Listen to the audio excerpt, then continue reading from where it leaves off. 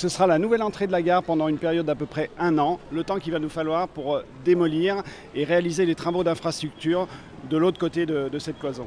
Une nouvelle entrée sous chapiteau et une façade transfigurée. La démolition du hall sud de la gare de la Pardieu a débuté depuis plusieurs semaines.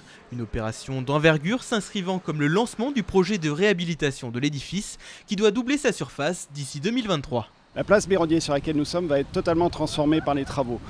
La gare elle-même va être dans un premier temps détruite pour être reconstruite et euh, se prolonger jusque sur l'avenue Pompidou Avenue Pompidou qui verra une galerie avec de nouveaux accès au quai. Mais l'un des plus gros défis de ce chantier était surtout d'assurer la continuité de l'exploitation de la gare, qui va défiler chaque jour près de 120 000 voyageurs, et même plus en cette période de vacances estivales. Dans la gare elle-même, nous, nous avons débuté les travaux il y a près d'un an et demi par des relogements de services qui sont affectés par les travaux de démolition et de construction qui sont à venir. Nous adaptons en permanence pendant les phases travaux l'information voyageur, le guide, la signalétique pour guider au mieux les euh, clients dans la gare.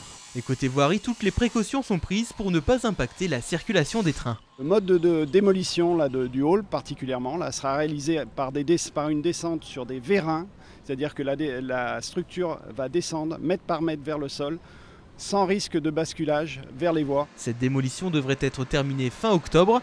Celle du hall nord, qui devrait débuter dans la foulée, est prévue pour 2019.